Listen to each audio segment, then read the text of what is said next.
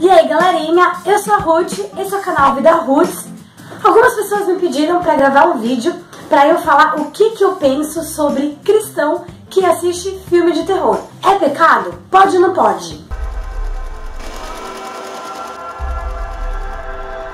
Então se você quiser saber qual é a minha opinião, antes de começar a assistir esse vídeo, você já clica aqui nesse botãozinho vermelho onde está escrito inscreva-se e se inscreva no meu canal.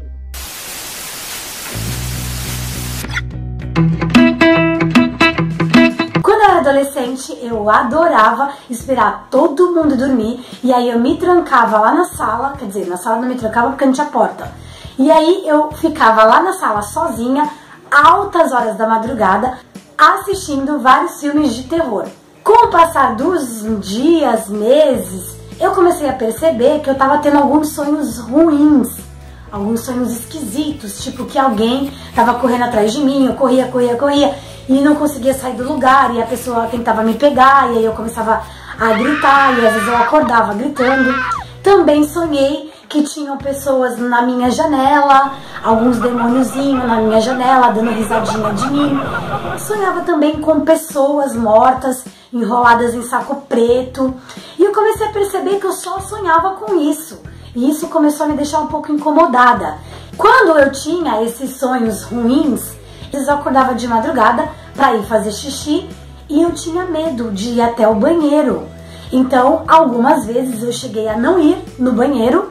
E aí, o que, que acontece quando a gente está com vontade de fazer xixi, acorda na madrugada e não vai no banheiro? Quando você tiver aquele tipo de sonho que você está sentado em um banheiro público que fica no meio do mato e tem um monte de pessoas passando pra lá e pra cá e essas pessoas estão vendo que você está fazendo xixi e você fica envergonhado e você fica tentando segurar o xixi, mas ele começa a sair. Cuidado, esse é um aviso de que você não está sentado em uma privada, e sim que você está deitado em sua linda e confortável cama e quando a primeira gotinha de xixi cair, você estará toda mijada ou todo mijado. Sim, era exatamente isso que acontecia comigo quando eu não ia ao banheiro por medo de ter alguma pessoa ou algum espírito ou algum monstro dentro da minha casa. E depois que eu me converti, eu queria ter outros tipos de sonhos. Eu queria ter sonhos proféticos, eu queria sonhar com Jesus, eu queria que Deus me desse sonhos de revelação, eu queria ter sonhos que Deus me desse, que eu pudesse fazer pregações, eu pudesse ajudar as pessoas, receber sinais de Deus, avisos de Deus e ajudar as pessoas. Então eu vi que alguma coisa precisava mudar dentro da minha mente. E aí foi quando eu tomei a decisão de parar de ver filme de terror. E logo depois que eu parei de ver filme de terror, eu comecei a ter os sonhos que eu queria. A palavra de Deus fala que a inclinação da carne é morte, mas a inclinação do espírito é vida e paz. Então eu queria experimentar essa vida e essa paz até mesmo enquanto eu dormia. Então eu cheguei à conclusão de que eu precisava mudar os meus sonhos.